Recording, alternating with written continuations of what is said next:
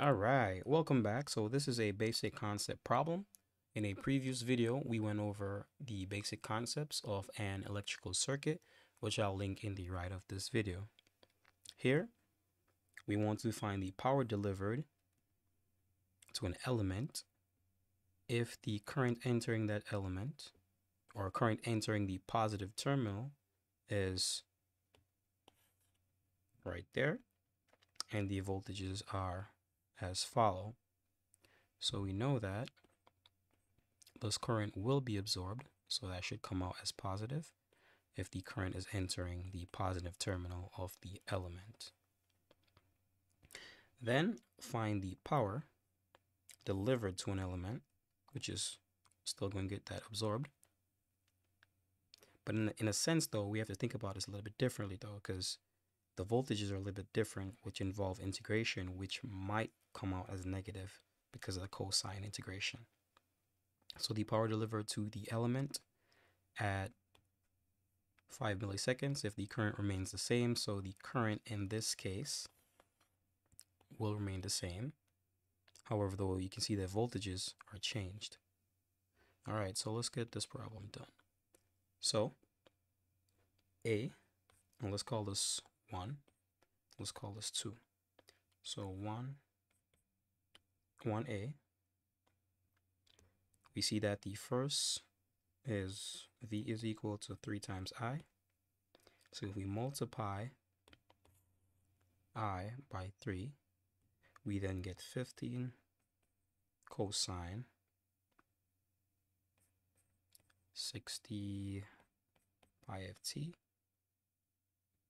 and that is going to be in volts. We can find the power. So P is equal to V times I.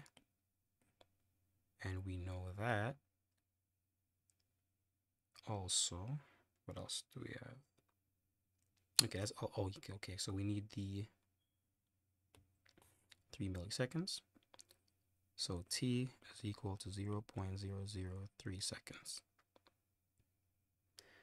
We then go ahead and say P of T is equal to 15 times 5, 75. That's going to be 75.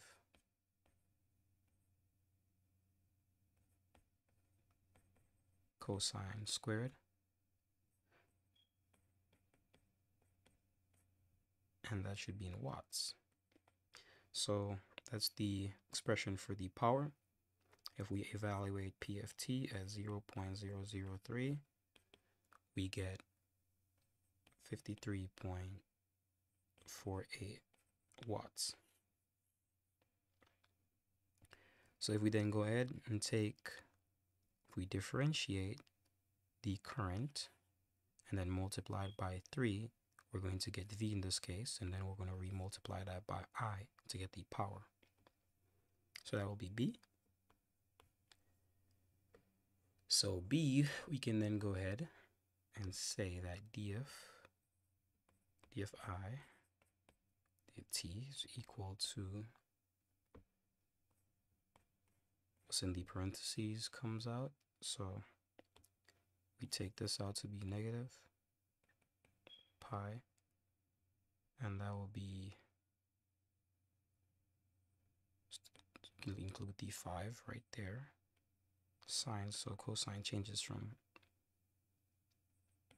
that to that times t and then we can multiply that by 3 we then get that v. V of t is equal to 900 let me put that in my calculator to see. So that would be 60 times 5 300 and times 3 okay good.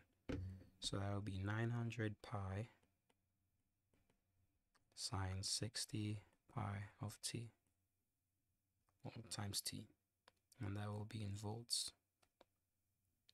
So we then go ahead and multiply that by sine, or we can just do it in one. So we can just say P of t is equal to, we multiply that by 5, so 5 times 9 Okay, 45. So that'd be 45,000. So that'd be negative 45,000 well, 4,500, I should say, pi, and then we have sine of 60 pi t times the cosine from the current, 60 pi t, and that will be in watt. So here, basically what we did was V times I. So we multiplied this guy by our current.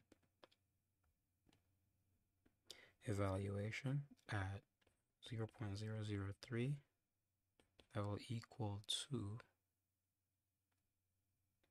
negative 6.396 kilowatts. So that is the power delivered to an element when the voltage is this and the current is that. So which is three times the derivative of the current and the current remains the same. So for 2, we go back again and look at 2. So the current remains the same. This time the first one A is 2 times I.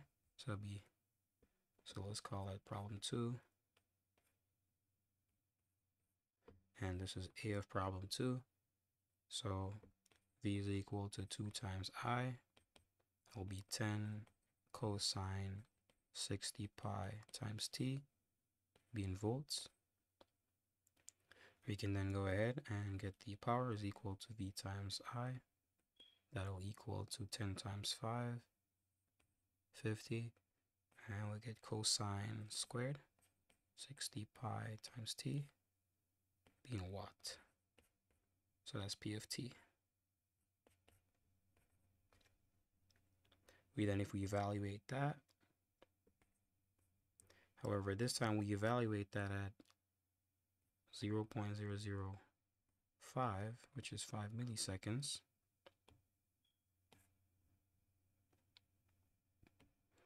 we get that the power is equal to 17.27 watts. For B, the voltage is given in this form. We'll simplify this and then multiply it by the current to find the power. So the first step is to integrate. So let's V is equal to 10 plus, and we just write that out before we integrate. So that will be 10 plus 5, integration of 0 to t i dt. And that will equal to 10 plus, take that 2 pi out, 60 divided by that, so 5. So that gives us 1 over 2 pi and changes from cosine to sine 60 pi times t and all of that is voltage. So we can then go ahead and multiply the current times our voltage. So P of t is equal to, so 5 we multiply the current times this, which is was 5 cosine 5 so that would be 50 cosine 60 pi times t plus multiply that current by this and that will be 5 so that'll be 5 over 2 pi sine 60 pi times t times cosine 60 pi times t.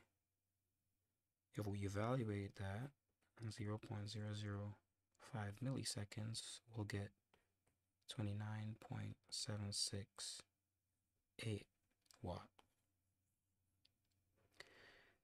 So there we go. We found all what was asked for by using what was given. And that's it for today's basic concept problem. See you in the next one. Bye.